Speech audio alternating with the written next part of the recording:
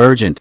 Weather message. National Weather Service Huntsville AL. 346 p.m. Central Daylight Time Monday, July 4, 2022 Lauderdale, Colbert, Franklin, Al Lawrence, Limestone, Madison, Morgan, Cullman Moore, Lincoln including the cities of Florence, Muscle Shoals, Sheffield, Tuscumbia, Russellville, Red Bay, Moulton, Town Creek, Athens, Huntsville, Decatur, Cullman, Lynchburg, and Fayetteville 346 p.m. Central Daylight Time Monday, July 4, 2022. Heat advisory in effect from noon Tuesday to 7 p.m. Central Daylight Time, Thursday. Watt.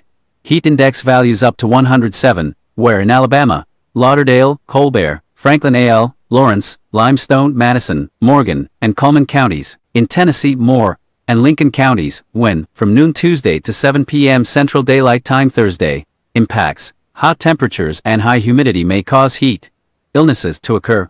Precautionary preparedness actions, drink plenty of fluids, stay in an air-conditioned room, stay out of the sun and check up on relatives and neighbors. Young, children, and pets should never be left unattended in vehicles, under any circumstances. Take extra precautions if you work or spend time outside. When possible reschedule strenuous activities to early morning or evening. Know the signs and symptoms of heat exhaustion and heat stroke. Wear lightweight and loose-fitting clothing when possible. To reduce risk during outdoor work, the Occupational Safety and Health Administration recommends scheduling frequent rest breaks in shaded or air-conditioned environments. Anyone overcome by heat should be moved to a cool and shaded location. Heat stroke is an emergency. Call 911 and an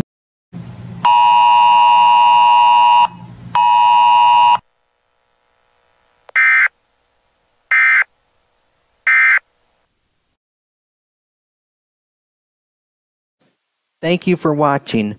Don't forget to like, share, and subscribe. You can follow me on social media by scanning the QR codes on your screen, or you can click the links in the description.